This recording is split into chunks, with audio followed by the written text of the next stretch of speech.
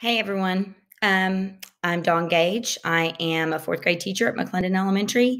And today I'm going to talk to you about doing some differentiation in Canvas with your students um, who are 504 RTI, SPED, um, and how to add assignments and be able to differentiate with them in the classroom. So, um, first of all, there are several options that you can use on here.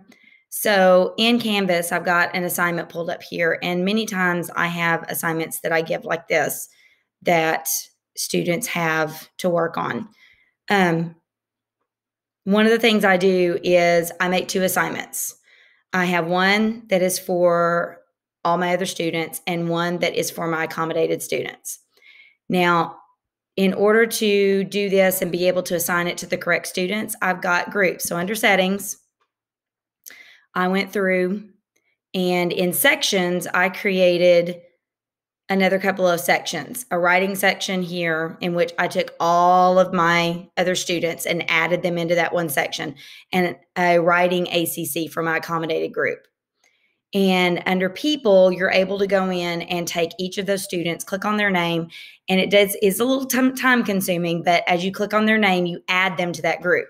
If you don't do that, I discovered that I have kids that get multiple assignments. Um, and they get two of the same assignments. So once I did this, that kind of solved all my problems. Um, so I did make sure that I had these two different groups so that I could separately assign um, to the accommodated group and you can change that under people. You click on each student's name, you add them to whichever group you need them to be in, um, and then they're there whenever you need to assign it. So um, basically, there's a couple of different things that you can do. So there's an extension on here called Immersive Reader. And it's in the Chrome Web Store. And if you just go in and search Immersive Reader, you can add it to your extensions. Once you've added it to the extensions, then when students go to a page that you've typed on, so let me go down here to this page, and you've got words that you have typed in there, then they can highlight those words. They can right click on them, and then you'll see down here it says, Help me read this. And so this is from Immersive Reader. And when you click on it, it opens into a new page. And then there's a little play button down here for them to play. And there's lots of different things they can do. They can change the text size, they can change um, the font and way it looks, they can change colors of the background, whatever's most comfortable for them. There's lots of different things they can do with that.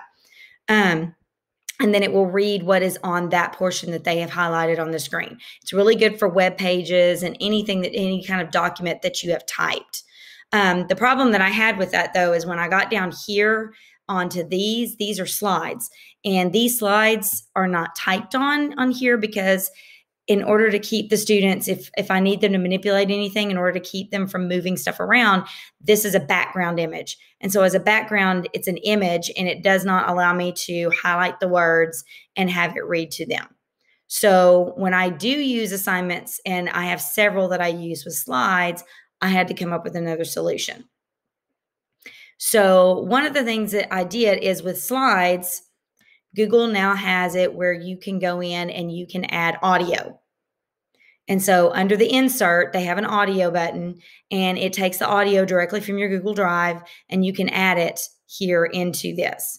So I've already added screens. And so you'll notice when they hover over it and it gives them a play button and it allows them to play what has been read for that screen. Now, again, you've got to go in and record the audio for that so that you can add it in there. Um, there are several different things you can use for that. Uh, Vocaroo.com is a place that will let you um, make free audio recordings, and then you can download the MP3. Um, onlinevoicerecorder.com is another one that will let you do that and let you download for free. And then there's an extension up here, this little pink one called Reverb, that when I click on it, it will let me go in and again i can record whatever i'm saying and then i can download and i can and i can use that. As a matter of fact it'll even give you a um, embed code to be able to put in. So for instance on the sentence fragment assignment that i gave to my accommodated kids um, down here, it was I used Reverb in order to read everything that was on the screen for them. And so I was able to embed it embed it up here and they just clicked on the play button and then it played everything that was down here on the page and it played it back for them.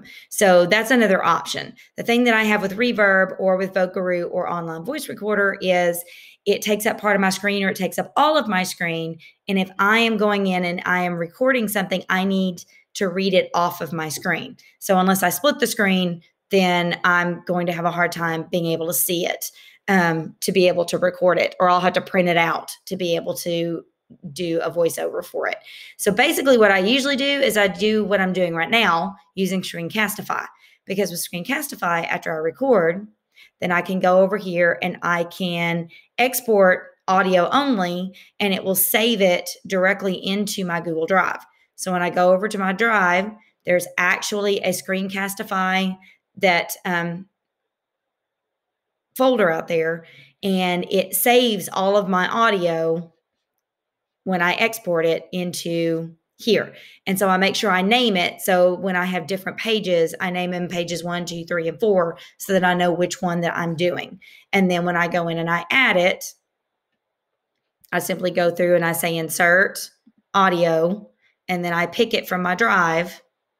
And once I've selected it, then it puts a little button up in the top corner. And over here on the side, you can change the size, you can change the rotation of it, position. You can even recolor the buttons so that they can be another color.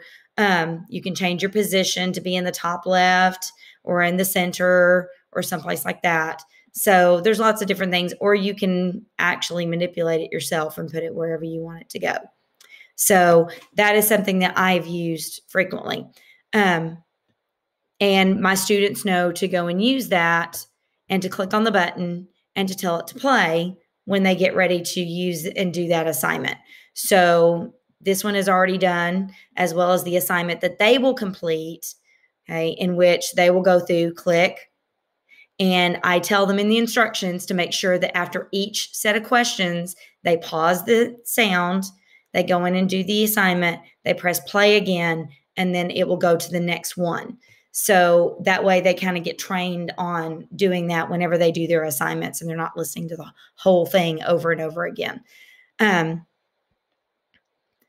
so those are some options that I go through and use. When I get ready to assign it, then um, under my modules, again, I said I make two assignments on here.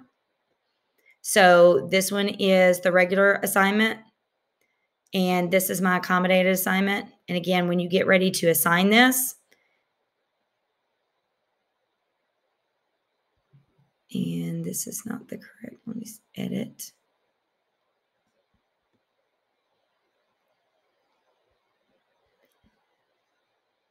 And I've got the incorrect one in here, so I'm going to go get rid of that. Okay, I use the more external tools to embed it up there. And I just select my file. And I select the one that I created that has the sound for this group and add.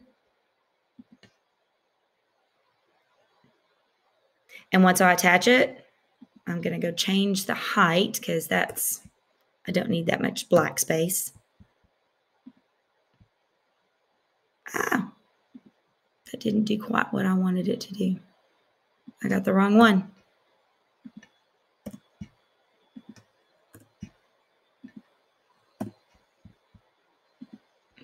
There. Um, you'll see that the sound is at the top of each of those slides. And all they have to do is click play and it will play each of those for them.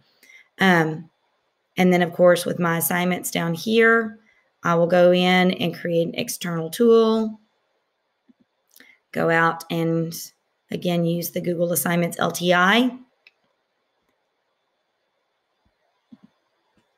and go and find the one that I have created to attach with the sound on it which would be right down here.